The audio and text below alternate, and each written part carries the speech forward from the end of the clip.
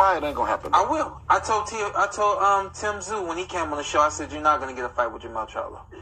I said just let that go. That fight's not gonna happen because I know that there's he don't want that night. Same thing with with uh with uh, Tank. All respect to Tank and his and his people, and they, they already know I love them, but they're not coming up to 140 to fight you.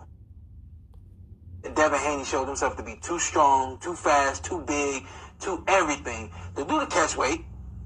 They'll try to bring you that 137 and try to pull you down, pull as much out of you as, as they can. Uh, Adrian Broner did that when I fought him. At, We were supposed to fight 147.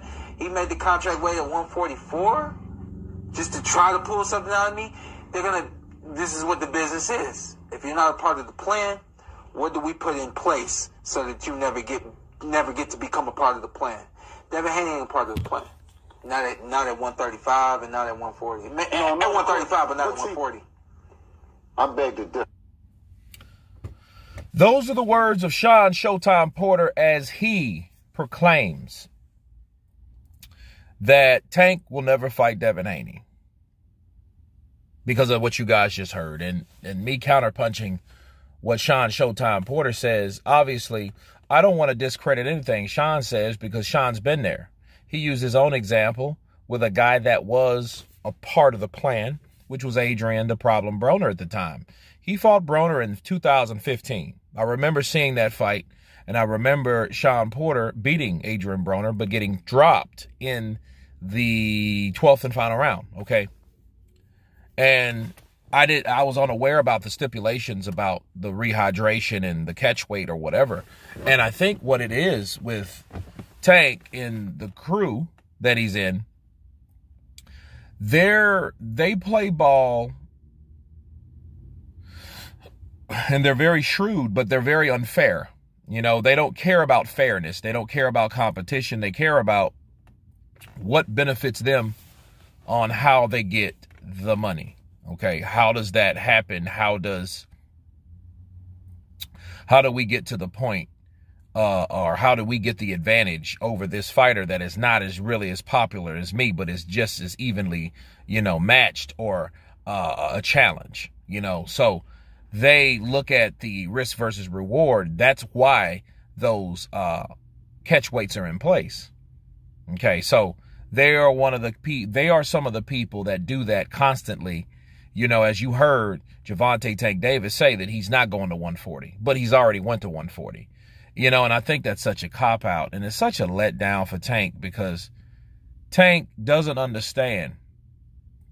He will be looked at in some circles, only some circles, as one of the best. But if you never fight the best, you will always be, for one, a shadow of Floyd Mayweather Jr., for two, a copycat or a duplicate of Floyd Mayweather Jr. Okay? And Floyd, um, Money Mayweather is a guy that he will never get credit based on his business decisions on how he made Canelo go to 152 instead of 154 you know what I mean? Praise Canelo, praise Cotto, praise fighting Cotto at 154 when he ridiculed Manny Pacquiao for making Cotto come to at a catch weight, but he did the same to Canelo. You see what I mean? So, like those guys really pretty much did the same shit. You know, um, I think they, if they care about their reputation, which I don't think they don't, I don't think they care about other circles because if they have people that are honestly criticizing them, they'll just rather call them haters. You know what I mean? Just to dismiss the logic of what they're trying to make and say. See, Shawn Porter tomorrow or the or the week after will be labeled a hater simply for him saying, "Oh, well, he'll never fight Devin Haney at 140 because I did the same and I had the same situation with uh, Adrian Broner." Okay, so yeah, I don't think that'll happen either. I do agree with Shawn Porter. And again, how would you argue with him? He's been there. He's done that. You know, he's he's exactly where Devin Haney is. I just think Shawn Porter was a lot more exciting than Devin Haney is, but the similarities are just in your face. Think about it. You know, you got Devin Haney, Bill Haney is his manager, you know, trained him, you know what I mean, did everything for him. And then basically he's running his career just like uh, Shawn Porter's dad, Kenny Porter, did for him. You know, that father son duo was alive in effect. Okay, so he knows exactly what it's like to be an ambitious uh, fighter or, or have an ambitious father, you know, that's trying to get these fights and what they had to go through in order to get those fights.